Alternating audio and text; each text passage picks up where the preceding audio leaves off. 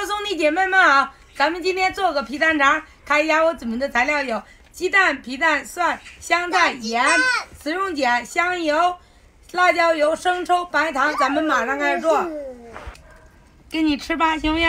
行。把鸡蛋打散，鸡蛋搅到这个程度就可以了。鸡蛋里面放盐，放一勺食用面碱，用温水化干，化好的碱水倒进去，不停搅拌。了是不是？是。你长大了没有？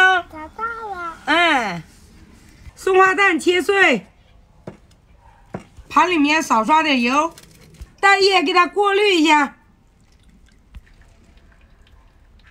撇出浮沫，切碎的松花蛋撒进去，封上保鲜膜，盖上盖子，锅开蒸十五分钟。蒸好之后焖五分钟，响锅。看一下做皮蛋肠。看一下我做的皮蛋肠，如果说有肠衣的话，会更好看。现在调个蘸料，往里面放生抽、香醋，少来点盐、白糖，来点辣椒油，给它搅拌均匀。蒸好晾凉，给它切成薄片。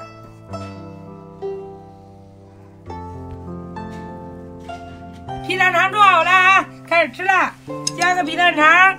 蘸点辣椒油，这就是可以上桌的菜。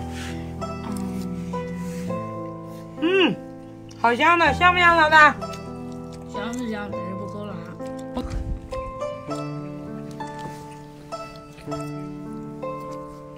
好不好吃？